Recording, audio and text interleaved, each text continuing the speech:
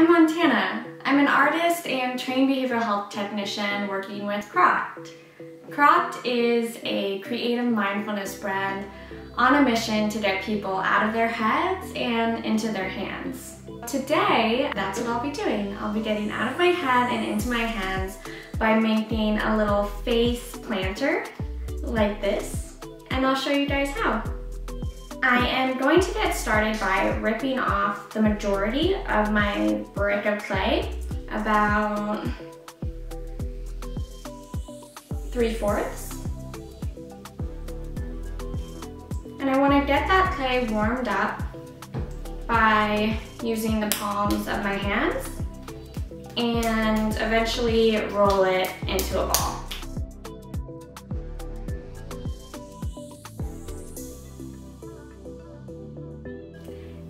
Have my ball of clay, I want to start making my pinch pot. So I've identified the middle of my ball here.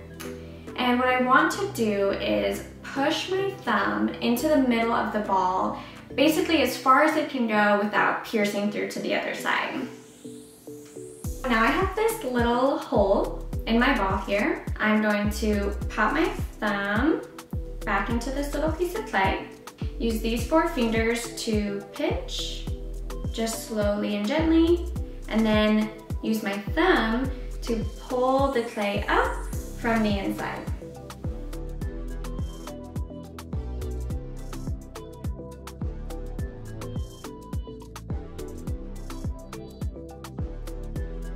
Since it's starting to get difficult for me to reach the bottom of the pot with my thumb, I'll switch to using a tool instead.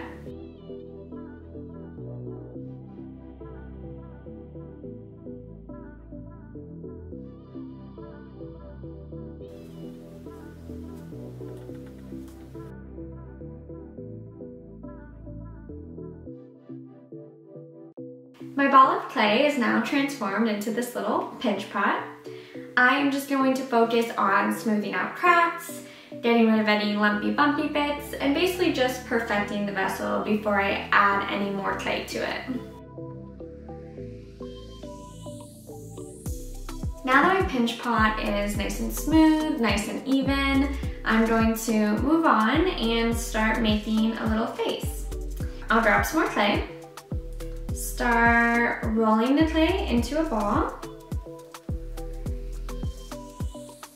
and then start rolling it up and down in my hands or up and down on my surface to get a long, even, snake-like shape or a coil.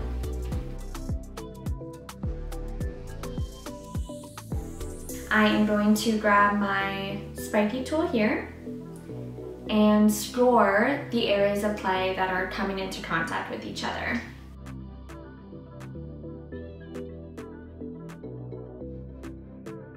I'm dabbing the scored areas with just a bit of water. Then attaching and blending.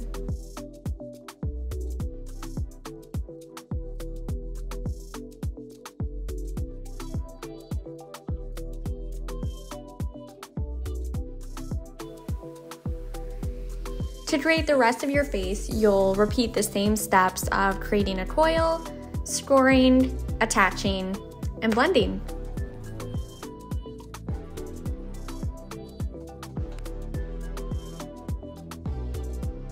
Once you're done perfecting your piece, all that's left to do is carve your initials in the bottom and then leave it to dry. Either paint it with acrylic paint after a couple days for a super awesome air dried decorative piece, or after about a week of drying, take it to a local studio to get fired in a kiln. That will make your piece water safe, food safe, ready for a plant to just go directly inside. Thanks so much for watching. Show us your creations and let us know what you want to see next.